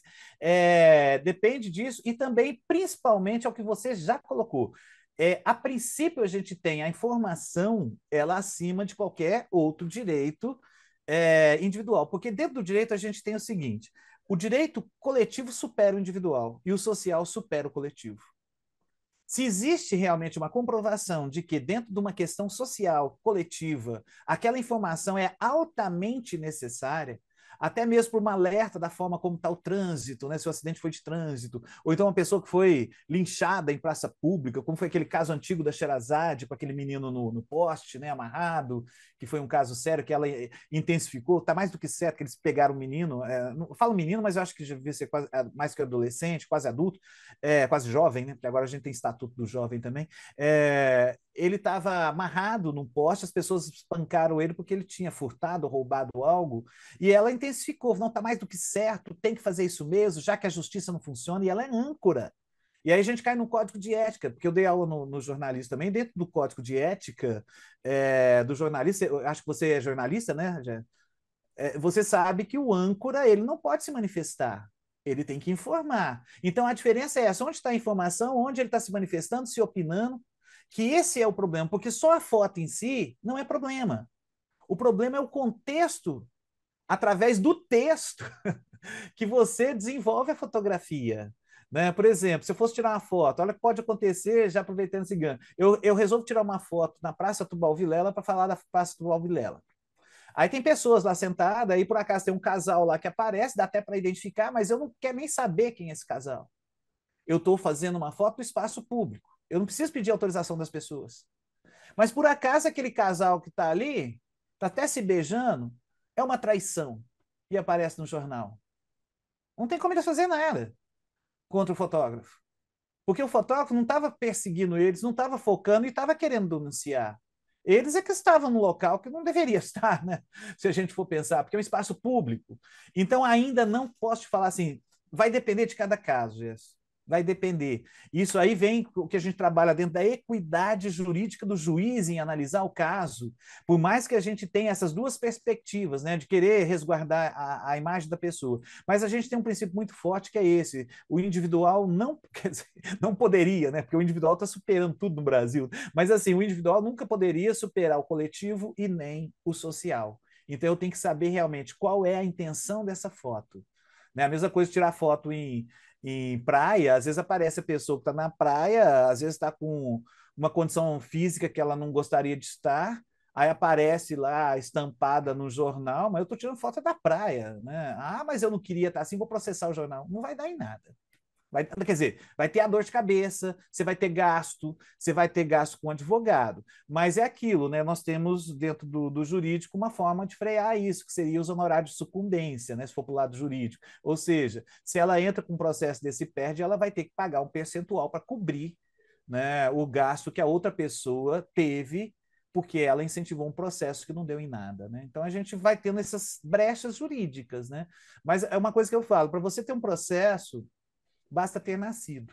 Qualquer louco, a qualquer hora, pode inventar algo e entrar com processo contra você, né? por mais absurdo que seja. Né? Então, é, infelizmente, o direito autoral vai passar por isso né? também. Quer perguntar, Leandro? Quero. Calvino, eu queria te fazer uma pergunta, eu acho que vai é um pouco aí do que você estava falando, sobre eu tô, é, a classificação indicativa, né, nesse manual, por exemplo, que tem no governo federal, específico para as artes visuais, né? É, na classificação indicativa é muito, eu fiquei assim, depois que eu li, eu fiquei bem impressionado, né, porque os conteúdos de nudez, erotização e insinuação sexual, eles são, é, por exemplo, há 12 anos é, já é muito, é, já tem uma porção de coisas que, que é permitida, né, e como ficaria essa relação especificamente é numa galeria pública, por exemplo, assim. É, é. E não, pode falar, não, é, isso. é eu, eu assim, eu, para mim, o maior absurdo que teve no Brasil, que eu até hoje não acreditei, porque a gente sabe que foi uma questão política, foi do Wagner, né? Do Schwarzenegger. É, porque o caso dele estava é, mais do que falando lá, né? Cenas de nudez, não sei o quê. Mas aí os pais, a mãe, né, permite a criança entrar. Não vejo nada demais. O problema é que nós estamos numa situação aí que vai além do direito, que é esse negacionismo violento né, que a gente está passando. E a questão de, de nudez, ela tem que ter muitos, é o que a gente discute lá no direito, tem que ter muitas subdivisões, né? Eu mesmo tive um bloqueio no Face, e volto aí para a idade daqui a pouco, é só para ilustrar, porque na questão da internet é muito robótico, né? Não tem. Viu uma cena. Eu pus um poema da, da Maria Bethânia, era um vídeo, né? Ela declamando no dia do, do índio. E tinha ela declamando sobre as cenas do, do Quarupi, né? Aquela festa mais forte que a gente tem indígena, né? E é, as mulheres indígenas todas pintadas com seios de fora, foi bloqueado como cenas de nudez. então, assim, mas que nudez é essa, né? Que a gente põe como indicativo, né? É, a questão é essa, isso aí é tudo atrelado à, à perspectiva que a gente está tendo educacional. Né? Então, não é só meramente uma questão também do direito personalíssimo em si, do direito é, civil, na questão do ECA, não é, não é só isso, né? Porque se a gente for pensar, querendo ou não, a gente convive com a nudez dentro de casa, né? Eu, várias vezes eu já estive nu do lado dos meus filhos, desde pequeno e tudo. E a gente é que oprime, né? Isso aí, né? A gente que encoberta. Mas ainda nós temos essa questão da purificação e, e é muito, é muito, é triste falar, por questões religiosas. Então, para acho que para ter é, evitar maiores conflitos, é que eles começam a colocar esses indicativos. Mas qual é a base real? Eu não sei te dizer. Te juro que não sei. Né? Porque realmente é, isso aí não é questionado como uma questão, como é que eles falam? É, tirando a liberdade de expressão, né? Para algumas coisas é tirando a liberdade de expressão, para isso não é, né? Mas os indicativos que são feitos, eles são baseados no momento social. Porque se a gente for pensar, eu falo pela minha. Até mesmo a gente sabe que a pedofilia, por exemplo, ela é uma, é uma doença, né? E ela é uma doença chamada de psicossocial. E depende do momento é, histórico. A minha própria bisavó, ela teve filho com 13 anos, porque no passado era necessário. Você sabe que na Índia, a, as meninas com 12 anos já são expostas a casamento, né, para casamento. Então, a gente tem que, no avanço da questão social, dessa questão de tentativa de indicativo, é para uma moralidade que eu não sei se ela é real. eu já nem sei te dizer. Que às vezes é até pior, né? Porque a gente vê que. Eu, eu não conheço caso, por exemplo, não estou falando que a gente tenha que andar assim, né? Mas eu não conheço casos assim de estupro violento, não sei se não é porque é informado, é, é, entre nativos que andam nus. Né? Eu acho que os estupros aumentam cada vez mais é, porque nós somos uma sociedade que transformamos a nudez numa coisa, é, como é fala, desesperadora, né, da libido humana, né? E parece que a gente só é atrelado a essa libido do corpo, né? É, simplesmente das formas do corpo. Será que o sexo está atrelado só a isso? Isso que é o maior problema, né? É, o que te atrai na pessoa é só a questão do corpo, né? E a nossa cidade mudada assim. Eu, eu, eu, eu, na minha visão, na minha visão, desculpa a sinceridade, eu vejo que isso aí é um exagero.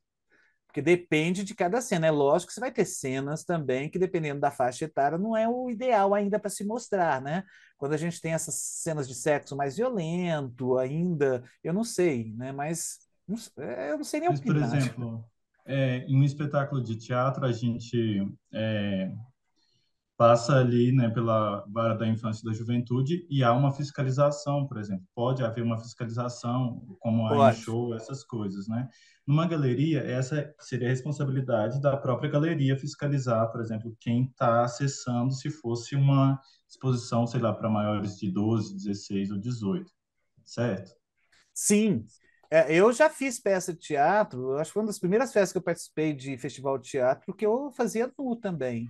Eu, eu também eu já tive casos, por exemplo, estar imitando o Ney Mato Grosso, só de fio dental, né? não vou falar qual clube aí, que pessoas começaram a criticar, xingar e foram embora. né? E o Ney fez isso na década de 70, eu fui fazer em 2000, né? É, da mesma forma. É, então, isso aí é muito complexo, porque isso aí, é a questão fiscalizadora, de fiscalizar realmente, vai passar por esse critério primeiro, depois da identificação é, da faixa etária. Né? Aí sim, mas o, o grande, a grande questionamento é o seguinte: se estão acompanhados dos pais? Entende-se que se os pais autorizam, pode, porque aí você está entrando na intimidade de cada criação. Né? Poderia entrar, mas não tem a responsabilidade direta, realmente, da fiscalização por barrar ali todas as pessoas. Ele vai conferir, se for uma criança sozinha e tudo, aí ele não tem como realmente deixar, ele cai nessa, nessa fiscalização desse sentido. Agora, estando acompanhado dos pais, é isso aí realmente não gera diretamente a responsabilidade ali para o ambiente, não tá? nas previsões que a gente tem. Que foi é justamente esse caso que aconteceu lá com o Wagner, né? Aquela vez lá no, no porque ele na porta estava dito, né? Que tinha cenas de nudez e não sei o que, informou. A mãe mesmo assim entrou com a criança, né? Aí os políticos foram tirar proveito da situação, né? Ele foi até ameaçado de morte, né? Recentemente saiu a matéria dele dando entrevista na revista Piauí, sem ser nesse número anterior, na, na no outro, né? Contando tudo que aconteceu com ele. Por isso que ele, ele ficou trancado em apartamento durante um bom tempo, né? Então, Parece que é... ele acabou de lançar um livro, né, Calvino, contando essa experiência. É, é eu vi que ele estava escrevendo é, quando eu li a matéria. Mas é uma, uma questão, Leandro, que é, é muito complexa, porque isso também depende de locais. Por exemplo, eu cito muito exemplo, assim, que até para entender essa visão que é uma visão de moralidade também, né? Não tem como não ser. É uma pessoa, por exemplo, sai do Praia Clube, né? De calção de banho, descalço, e entra no Banco do Brasil para pagar uma conta. Ele vai poder fazer isso aqui? Logicamente que não, vai ser barrado. Mas e se fosse lá em Porto Seguro? Tranquilo. Se for no litoral, tranquilo. Então, isso também depende muito, é uma questão muito que a gente usa no direito, que é regional. A, o, o, as análises dos fatos, eles também trabalham com analogia e também com regionalismo. Né? E dependendo do local, mesmo em São Paulo, por exemplo, eu não veria. Aqui talvez em Uberlândia você vai ter uns probleminhas. Com certeza você vai ter. Por questões regionais, de uma visão de moral, às vezes, é foda falar, mas precária, né? De visões moral precária, porque eh, é aquilo que ele fala, a nudez não é só para mostrar a questão é, sexual, não é isso, né? É, então, isso depende muito do, da questão regional. E aí o direito ele também tem que analisar isso. Você pode ter uma decisão, por exemplo, você faz essa mesma peça aqui, você pode ter um problema jurídico. Você vai fazer imposto seguro, você não vai ter problema nenhum. Né? Então, isso vai depender também dessa questão regional e moral da coletividade. Mas a responsabilidade de fiscalização, você vai ter, você, quer dizer, para evitar, você vai ter que passar assim, para essa indicativa e colocar o indicativo ali. O problema é se você não colocar o indicativo. Aí você teria problema. Hum, mais alguma cocita? Mais alguém quer falar mais alguma coisa? Oh, eu acho o seguinte, tem, é muita coisa Tem que dar um mesmo. curso. Não, é, é um. Eu esse é estou um- esse é um- montando. a gente diria assim, para. a gente diria É assim que é uma coisa. degustação, né, É. Calvino? Não, mas é, é- é- é- é- é- realmente eu sei. Por isso que eu estou com esse. Hoje mesmo eu estou com dois vídeos aqui que eu vou acabar de editar para jogar lá no, no YouTube. No YouTube que eu tenho, que é o do, da Movimentarte, né? Porque lá já tem três. E, é, e eu estou pedindo para as pessoas me mandarem perguntas e casos. Por exemplo, tudo isso aí que vocês falaram já me deram várias ideias para eu fazer um vídeo. E esses vídeos meus estão sendo na faixa de 15 minutos. Aí eu fazer cada um específico dessa questão da modalidade, da questão da utilização de fotografia, por exemplo, como o Gerson falou, dessa questão da utilização da inteligência artificial, essa questão da faixa etária, já me deram ideias para vídeos. Mas eu, ao mesmo tempo, estou montando um curso genérico de direito autoral é para deixar numa plataforma, porque eu não vou conseguir fazer ele rápido. Ele é, é muita coisa. Tem anos que eu estudo sobre direito autoral e está cada vez mais complicado. Principalmente agora que chegou na inteligência artificial, complicou mais. A internet alastra, né? E a visão que as pessoas que têm é o seguinte: se algo está na internet, está livre. Não. O pessoal acha que a internet é um espaço público. Nunca foi. A internet é espaço privado. Para você ter internet, você tem que pagar. Quem monta a estrutura da internet? São empresas privadas. O seu perfil na internet do Face é privado, você bloqueia quem você quiser. Né? E as pessoas acham que é tudo livre. Não é. Se eu ponho uma imagem ali no meu Face, eu não estou autorizando as pessoas a compartilharem. A gente sabe que é um- uma motivação. Por isso que eu falo, o meme não é livre. Não é. Né? As pessoas não têm o direito de sair pegando assim, compartilhando, a não ser que seja informativo. Por exemplo, no, no jornalista, vocês sabem, eu posso compartilhar informações, por isso, Jéssica, talvez até fortalece o que você estava perguntando, eu tenho o direito de pegar uma, uma, algo que você escreveu, eu não posso fazer nunca anterior, que tal, talvez vai cair até na questão da fotografia.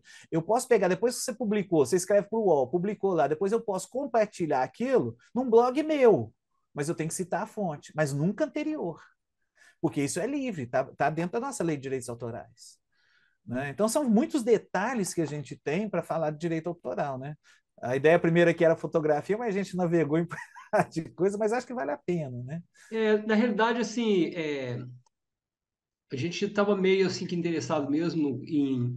Eu acho que esse- essa fala sua, inclusive o seu link, os seus links, se você nos disponibilizar, Logo passar para você depois. ele vai encorpar muito o nosso trabalho, né, pessoal? Porque é, é, o público, eu, acho, eu imagino que esse trabalho vai chegar às escolas públicas e eu acho que tendo o link lá fica bem bacana para as pessoas acessarem esses debates, né? E esse é um debate muito legal para quem lida com imagem, né? Nossa, demais. Não só imagem, né? Aham, a gente lembra, é, as obras todas, quaisquer que sejam. né? A musical também, a literatura, né? É, eu já estou imaginando que o, em algum momento o Gerson já, já tomou nota ali para te convidar para falar para os alunos dele, a régua também. Ixi, eu vou na hora. Adoro. Se precisar Então. que eu vá numa sala de aula, eu vou. Só temos que combinar horário. Vou mesmo. Então. Pode me chamar. Então, pessoal, a gente está caminhando para uma hora e meia. Se vocês não tiverem mais o- nenhuma pergunta, a gente pode caminhar para o fim. Se vocês quiserem fazer algumas considerações finais, você, Calvino, você, Regman, você, Gerson, e você, Leandro, a gente pode. Eu, eu só gostaria de saber se eu consegui responder, se eu não fugi um pouco das perguntas. É, o- eu, Respondeu? eu, eu só queria, assim, agradecer, né, o Calvino pela atenção, pela disponibilidade dele. Ele trouxe mu- muitas questões para a gente, né, e, porque realmente é um, é, são assuntos assim espinhosos e estão em mutação, né? E, Nossa. E aí eu acho que né, ficaram perguntas assim que acho que a gente nem eu nem, consegui elaborar aí nem é, as questões, né? Porque são muitas informações. Então eu gostaria de te agradecer demais e, se possível, você passar para a gente aí essa, esses links aí desse material que você tem, disponibilizar para a gente. Eu posso passar para o Paulo e ele passa para vocês? Ótimo. Ótimo. Porque já entrando num deles lá na página, que eu estou direcionando, eu tenho três do YouTube. Tem uma outra que eu fiz muitas aulas, muitas respostas direcionadas para o Unil por causa de pandemia, mas também são aproveitáveis. E eu tenho outra que eu estou construindo assim, estou tentando fazer um por semana. Né? Hoje mesmo eu vou montar, de hoje para amanhã, dois, vou lançar lá mais dois novos, mas ela já tem três. E alguns dessas coisas que vocês perguntaram, né? não na questão faixa etária, mas voltada para o uso da, da foto, tudo tem, da inteligência artificial, já tem. Falo até mesmo da questão, o pessoal pergunta, registro de obras, né? o pessoal fica muito preocupado, nossa, como registrar a obra, de que forma que é, estou falando. É, o de hoje eu estou falando sobre a questão do domínio público, quando é que cai, explicando minuciosamente, porque não é só a obra, você tem os direitos morais, você tem os direitos conexos, né? são muitas coisas. Obras caíram do domínio público, por exemplo, nós estamos com obra do domínio público aí, qualquer um de vocês pode usar livremente, Monteiro Lobato, Noel Rosa, né? então eu vou dando esses toques também, né? como que faz isso também, né? a utilização. O, Mas eu queria agradecer, Paulo, o convite. Nossa, bom demais, é. né? E a gente está. O que eu mais gosto é de passar o pouco que eu aprendo, né? Porque é uma troca de conhecimento. Até a natureza do direito autoral é essa, como eu falei, né? O conhecimento não é meu, não é seu, é nosso, né? A gente tem que construir junto, né? E não dá para a gente correr atrás de tudo. Cada um aprende um pouquinho e troca conhecimentos, né? Eu faço questão, estou disponível a qualquer um de vocês quatro aí para outras coisas, tranquilamente. Só tenho a agradecer. Eu também queria agradecer muito, Calvino, assim, só que eu queria sair daqui sem fazer uma, tirar uma única dúvida aqui rapidinho com você. Vamos embora. É, eu, é, coisa de professor também. É, como você da arte é melhor. Você estava falando sobre a questão da fotografia, pensando na questão da, da pintura, é, pensando o que, que é arte, é a criação do espírito, não é o resultado, é o, é o processo da, da, da intencionalidade que você tem. É, a gente tem o impressionismo na arte e depois se tem a fotografia. O que, que falta para a fotografia é, chegar, por exemplo, ao, ao, ao, a, a ser reconhecida como arte, da mesma forma pensando no impressionismo. Se você tem uma proximidade entre a realidade externa, em que você se confronta a partir dela para, para uma produção. Jess, eu acho isso aí tão tão difícil de visualizar na fotografia, porque é aquilo que eu continuo falando, a natureza da fotografia, a gente acha que a fotografia é a imagem, né? E a, a fotografia não é a imagem, é o que está em volta da imagem. Não sei se você vai conseguir entender. É como o fotógrafo ele visualizou e ele pegou o plano que ele queria, é como ele viu o ângulo que ele queria, é como ele viu a iluminação. Vai alterar a imagem? Vai mas ele não construiu a imagem. Não, é diferente. Porque você pega um pincel, você vai estar ali pintando, você sabe melhor do que eu, vai estar ali pintando, você faz. A fotografia, não. Vamos pensar no, no passado. Você punha a fotografia, imagina aquele pessoal que tinha que ficar com a cabeça presa né, na época do Império, ficava ali alguns minutos, ele ligava ali a, a máquina, aí fotografava. Qual foi a obra de arte que o fotógrafo fez nesse sentido? Nenhum, nenhuma. Hoje, a gente tem isso, a gente consegue pensar anteriormente, que nem o, o, Paulo está falando. Ele não gosta de fazer o trabalho posterior. Ele já busca, na hora de fotografar, o resultado que ele quer. Essa é, é, é mais forte ainda o papel dele na construção. É, eu nem falo da. Não é da construção da imagem, é como ele vai modificar a imagem, a imagem que existe, que tem o, a personalidade dele. Mas no fundo, no fundo, ele está capturando a imagem. Então a fotografia, quando a gente pega a fotografia ou vê, é, parece que ali é a obra de arte, né? E a fotografia vai chegar nessa condição. Eu, é, se for para a ideia do impressionismo que você está falando, você faz isso a posterior. Eu faço muito isso, eu trabalho isso com Photoshop e aí vai. Então, isso é que mostrou que a, foto, a, a, a imagem fotografada ela poderia ter um trabalho posterior, que aí eles falam manipulação de imagem, né? Que poderia chegar até isso, o impressionismo. Que você pode fazer com uma regra preocupada, preocupada aí com a inteligência artificial, simplesmente com a inteligência artificial, ou você faz. Eu tento, até aqui, ó, eu trabalho o tempo todo com isso aqui, ó, uma mesa digitalizadora com pincel. Né? Eu pego uma fotografia, às vezes, eu vou é, trabalhando em cima dela. É, é como se eu tivesse jogado uma, um punhado de tinta aqui na tela, por exemplo, uma imagem de um tucano. Tá ali, eu fotografei, mas depois eu posso também modificando para fazer uma questão de impressionismo em cima da fotografia. Mas não é a fotografia em si, mas é a, a imagem resultado da fotografia. Porque a fotografia é o processo mecânico que depois ela traz esse resultado final. A gente uhum. chama aquilo de foto. É, que eu nem sei se é o certo ou errado, não vou nem, nem discutir, mas ali, para a gente que vai analisar o direito, que o momento do fotógrafo é durante a hora que ele está imaginando como vai ser o resultado, que pode ser o resultado que ele quis ou um pouco até diferente, mas ele gostou.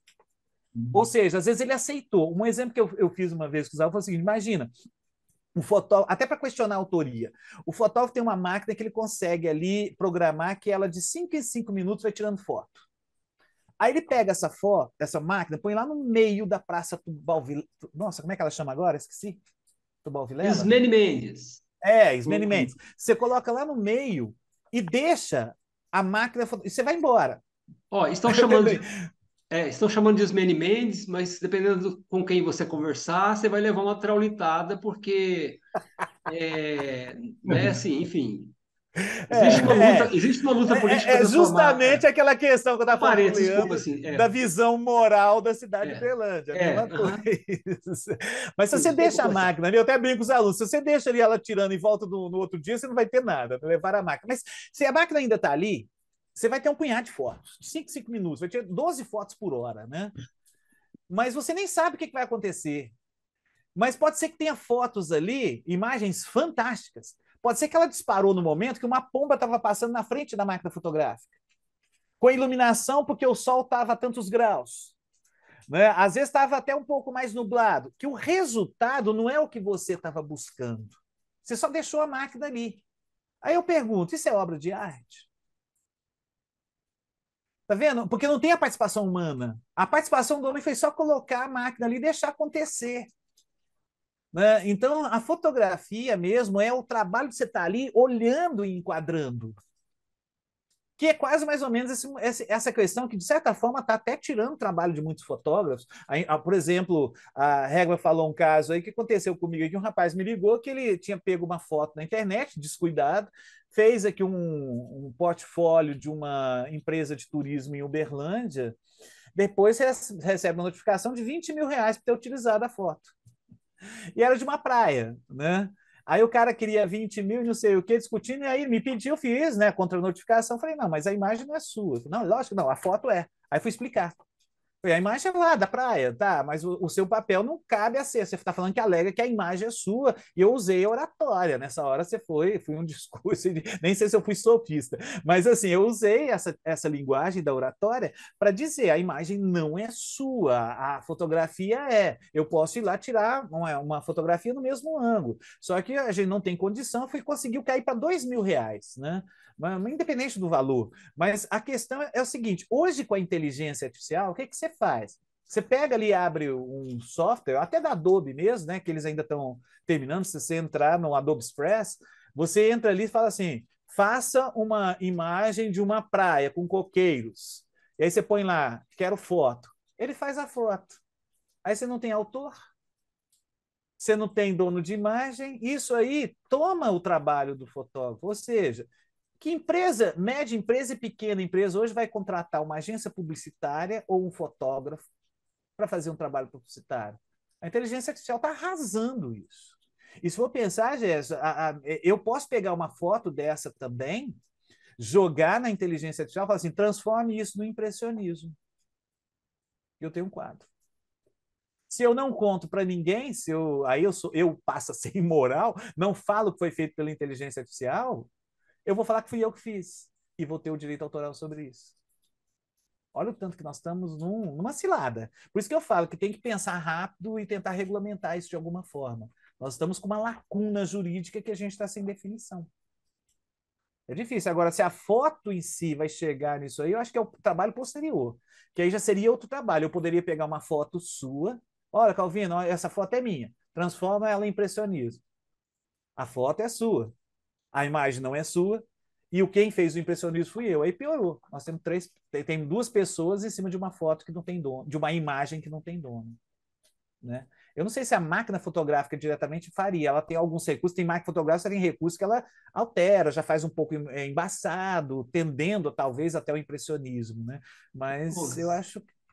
Ô, Calvin, para atrapalhar um pouco, para atrapalhar um pouco aí, tem uma, uma citação aqui que eu vou, não vou me lembrar agora, que é do o Philippe Dubois, ele fala sobre o trabalho do fotógrafo Denis Roche, e, e ele fala assim, é uma expressão mais ou menos assim, a pedra, é, o pedregulho e o precipício. É assim, se você olhar para um, um, um pedregulho e fixar o olhar, em algum momento ele vai se tornar um precipício, a pedra vai se abrir. Entendeu? Então, acho que com, a, com essa coisa de manipulação de imagem, é, é, ah, como, entendi, tivesse, é como se a gente tivesse entrado num, num labirinto, ou estivesse olhando para uma pedra. Às vezes você olha para uma imagem, uma imagem qualquer, e aí você tem que pensar que assim, ela é um, ela é um, ela é um, um precipício, ela é um abismo que você vai entrar, né? Que, e aí, permeada por, por essas questões todas que você colocou de direito, né? É, eu acho que eu acho que foi isso que a gente fez, né? Você Se a gente for pensar hoje, caiu um é. precipício, né? É verdade. É. A gente vai ter muita dor de cabeça ainda para isso aí. Vai ter Certamente. Então, pessoal, na, na, intelectualidade humana, na criação, né? É, é, a gente passa por esses, esses contextos todos, não tem como fugir. O que me preocupa é isso, porque realmente você pode ter certeza. Eu vi gente falando assim: ah, não vai substituir o homem na criatividade. Não, mas é lógico, porque como eu falei do resultado da fotografia, porque se eu olho o pôr do sol, eu vou imaginar eu e o Gerson olhando o mesmo pôr do sol, só que naquele dia eu estou baqueado, eu estou arrebentado, Acabei de, de, receber uma informação que minha esposa vai é, separar de mim e ele está todo feliz.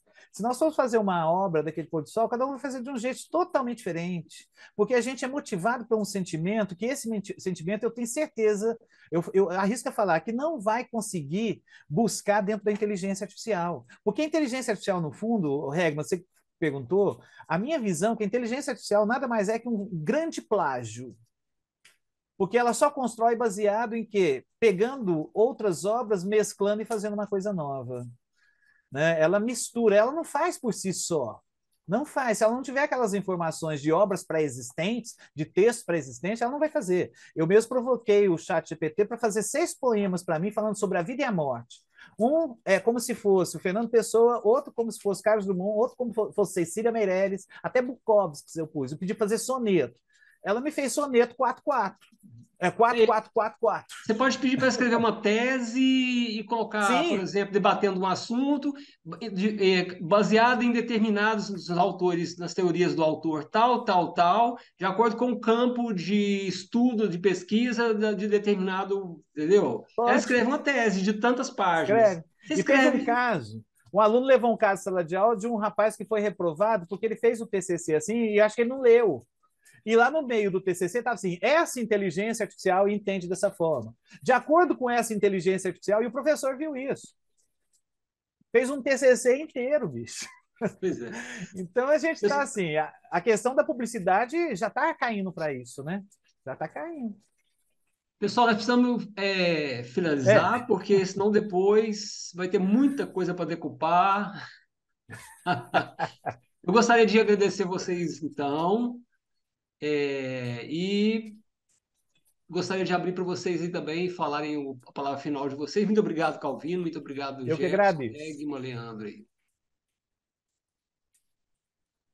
Eu agradeço mais uma vez, Paulo, por, por estar tá abrindo essa possibilidade aí para mim, né? porque, de certa forma, também estou até divulgando meu trabalho também, mas que para mim é mais importante é tentar colaborar aí com o conhecimento que eu tenho. Tá? Muito obrigado.